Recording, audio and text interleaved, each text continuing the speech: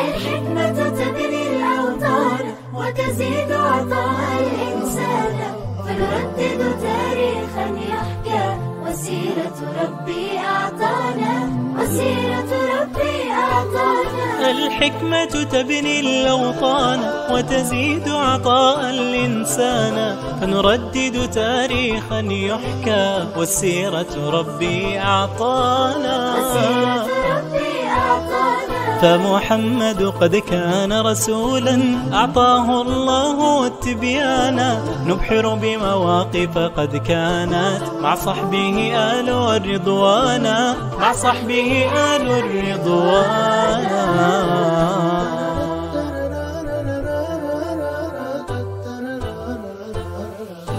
في كل صحابي قصة تبني بقيمها بنيانا نتعلم منهم ونعلم وبهم نرقى أعلى شانا وبهم نرقى أعلى شانا.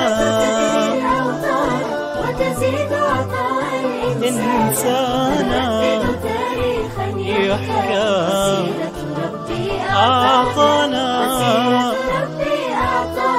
فثلاثة فتيان بدأوا في نهج الآل بإحسانا يروون مواقفهم حتى يهدون الدنيا ألوانا يهدون الدنيا ألوانا.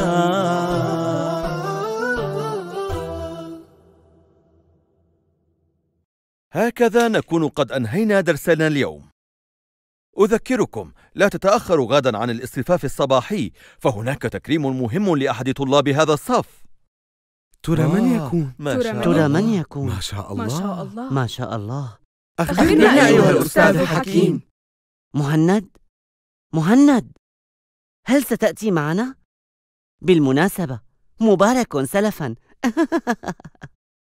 إلى اللقاء يا شباب. نراكم غدا. أذكركم لا تتأخروا غدا عن الاصطفاف الصباحي فهناك تكريم مهم لأحد طلاب هذا الصف. أسعد الله صباحكم بكل خير. استرح! استعد! بسم الله. سنعلن الآن عن تكريم طالب استحق هذه المرتبة. وذلك لما بذل من جهد استثنائي في دراسته وفي النشاطات الطلابية. أتشرف بدعوة الطالب رامي أسعد.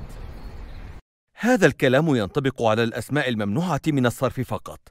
من يعطيني مثالا عن الأسماء الممنوعة من الصرف؟ مهند؟ مهند. مهند. مهند. مهند. هل تسمعني؟ أهلا. أهلا بالشباب. أهلا أستاذ. أهلا أستاذنا حكيم. مهند. أخبرني ما بك؟ لا شيء معلمي. تبدو شارد الذهن. بصراحة تعرضت لصدمة هذا الصباح.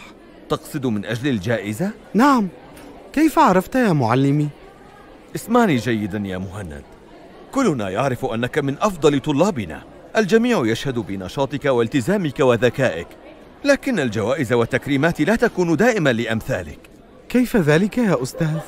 أحيانا يكون لها غايات أخرى. كنا نريد تشجيع الآخرين على العمل الجاد. بالتأكيد كنت تستحق التكريم.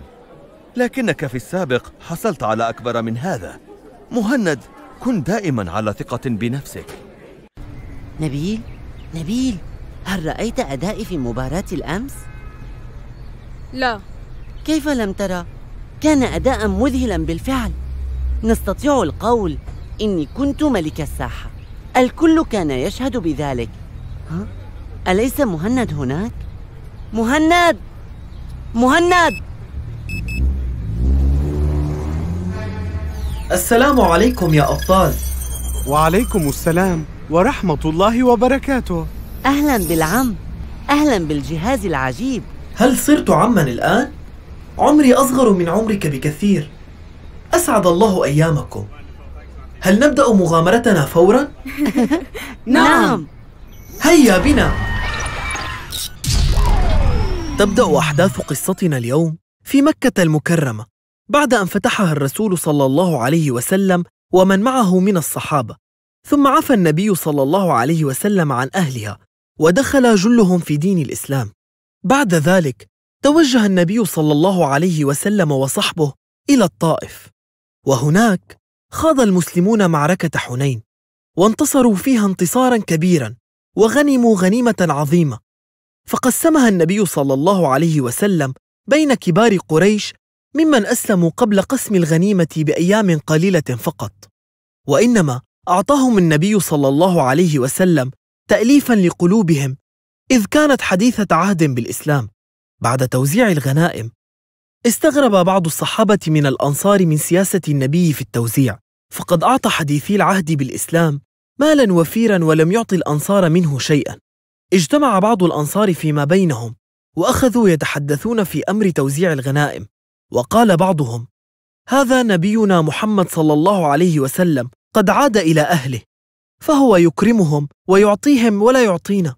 علم سعد بن عبادة رضي الله عنه زعيم الأنصار بأمر قومه فذهب إلى النبي وأخبره بما عتب عليه الأنصار ثم سأله النبي إن كان موافقا لرأي قومه فأجاب بأنه فرد من الأنصار ويقول بما يقولون.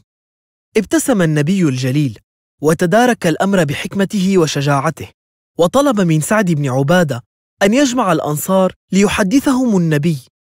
فاجتمع الأنصار كلهم أمام رسول الله صلى الله عليه وسلم ووقف النبي الجليل أمامهم وخطب فيهم خطبة سجلها التاريخ. لما فيها من التواضع والحكمة وحسن السياسة خطب فيهم النبي بعد أن علم أنهم قد عتبوا عليه توزيعه الغنائم على الناس ومنعها عنهم. وقال يا معشر الأنصار ألم أجدكم ضلالا فهداكم الله بي؟ ويقصد أنهم كانوا في ضلالة الشرك. فلما أتاهم النبي هداهم الله للإيمان. ثم أكمل وكنتم متفرقين فألفكم الله بي. أي أنهم كانوا في حرب وخصام. فلما أتى النبي صلى الله عليه وسلم جعلهم أمة واحدة متحابة. ثم أكمل النبي وكنتم عالة فأغناكم الله بي. أي ألم تكونوا في فقر وحاجة؟ فجمعتكم ونظمت أموركم حتى أغناكم الله من فضله. هزت هذه الكلمات قلوب الأنصار وأدمعت أعينهم. فاستمر النبي في خطابه قائلا لو شئتم لقلتم جئتنا كذا وكذا. أي أتيتنا مكذبا فصدقناك. ومخذولا فنصرناك وطريدا فآويناك وعائلا فواسيناك مع أننا لسنا قبيلتك وأهلك. لكن الأنصار كانوا يرفضون أن يمنوا على النبي بما فعلوا وكانوا يرددون إنما الفضل لله ولرسوله إنما الفضل لله ولرسوله. ثم قال لهم النبي أترضون أن يذهب الناس بالشاة والبعير وتذهبون بالنبي إلى رحالكم؟ أي إلى بيوتكم ومنازلكم. أراد النبي العظيم أن يبين لهم فضلهم ومكانتهم عنده وأنه لم يحرمهم من الغنيمة والأموال لقلة شأنهم وإنما لثقته برسوخ إيمانهم. ثم قال لهم لولا الهجرة لكنت امرئا من الأنصار. اللهم ارحم الأنصار وأبناء الأنصار وأبناء أبناء الأنصار. وبعد أن سمع الأنصار هذا الكلام العظيم بكوا بكاء شديدا رضي الله عنهم وأرضاهم وصاروا يرددون رضينا برسول الله رضينا برسول الله. الحمد لله على السلامة. رضي الله عنهم وأرضاهم. كانت قصة مؤثرة حقا. عيناك تدمعان يا مهند. لا بأس. لا عليك. ماذا تفعل يا سليم؟ هيا يا نبيل. هيا قف وصورنا. ما هذا؟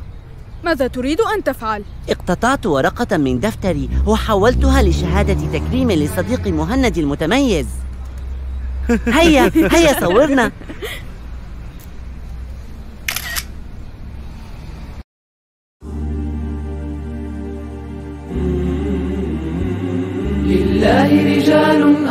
أبطال سخرهم في نصر الدين ما وهنوا في يوم الشدة ما فتروا حتى التمكين. أنصار الهادي يا صحبي أقمار هدى فيض يقين. بعد الفتح جيوش الإسلام سرت في عز لحنين. قائدهم أحمد سيدنا والله لهم خير معين. هزموا الكفار بقدرته فالله قوي ومتين. وعلى الإسلام على الشرك جيوش العزة ليس دليل. الله رجال أبطال سخرهم في نصر الدين. ما وهنوا في يوم الشدة ما فتروا حتى التمكين. أنصار الهادي يا صحبي أقمار هدى فيض يقين. قسم المختار غنائمهم أعطى كل فريق قدرا. لم ينل الأنصار وفيرا لكن نالوا منها خيرا. بعثوا للمختار هماما أنبأه أخبره السرا قال لهم أفديه بروحي مبتهجا متقدا بشرا. هل ترضون إذا ما الناس لمال أو درع قد غنموا؟ ورسول الله لكم خل وإليكم يأوي فابتسموا. فرح الأنصار بقسمتهم غنموا خيرا مما راموا. فرح الأنصار بقسمتهم غنموا خيرا مما راموا.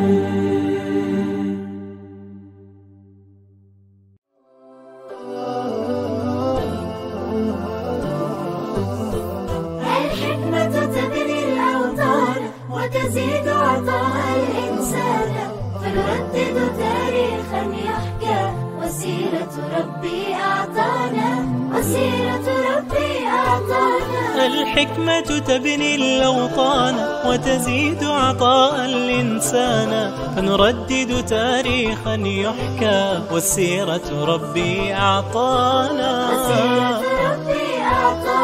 فمحمد قد كان رسولا. أعطاه الله التبيان. نبحر بمواقف قد كانت مع صحبه آل الرضوان. مع صحبه آل الرضوان.